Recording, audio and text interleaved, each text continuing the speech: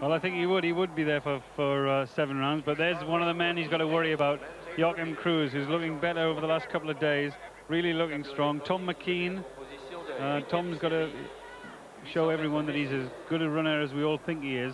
And I think this is the place for Tom to do that. And I think he's now shrugged the pressure off from the World Championships of last year. And I think Tom's here meaning business. And I'm sure we'll see some excellent running out of Tom McKean everyone in Scotland and in the rest of the British Isles will be looking forward to seeing the three men in the final of the 800 metres. We've got every chance to do that, but just there in the shot, the man who I'm worried about against the three Britons particularly is Joaquim Cruz, the defending Olympic champion.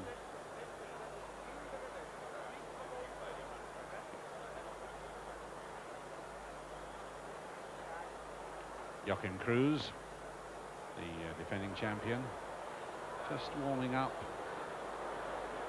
but the next heat will have well, another good Kenyan in it. Paul Ereng. We've just seen John Ndiwa. Remember, they lost Billy Konchellah, but they're capable of pulling out uh, very good Kenyans, so watch out for him, number three.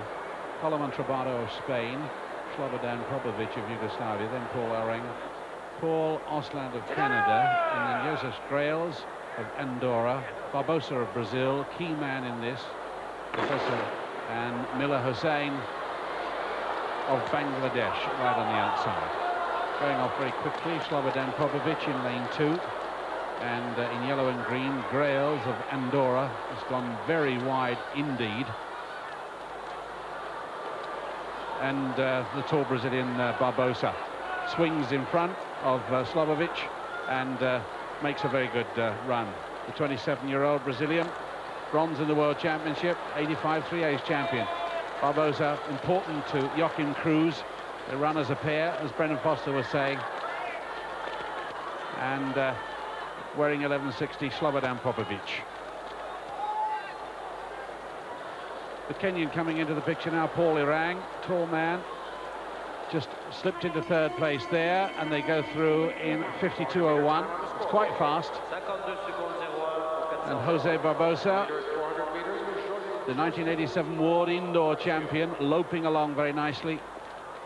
Popovic with him, Ereng beginning to uh, threaten them from the outside. These three getting away.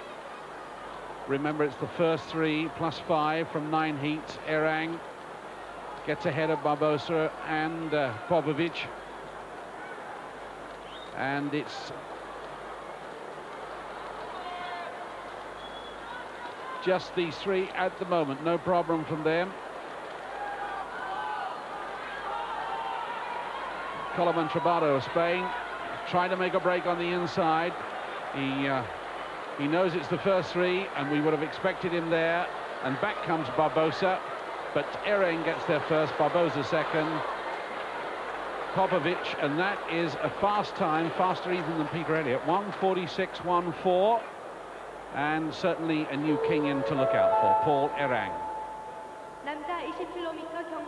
I say new, he's run 144.82, he's the national collegiate champion in America where so many of the Kenyan athletes uh, go for uh, their education. But uh, they managed to throw up 400 meter runners, 800 meter runners, steeplechasers year after year.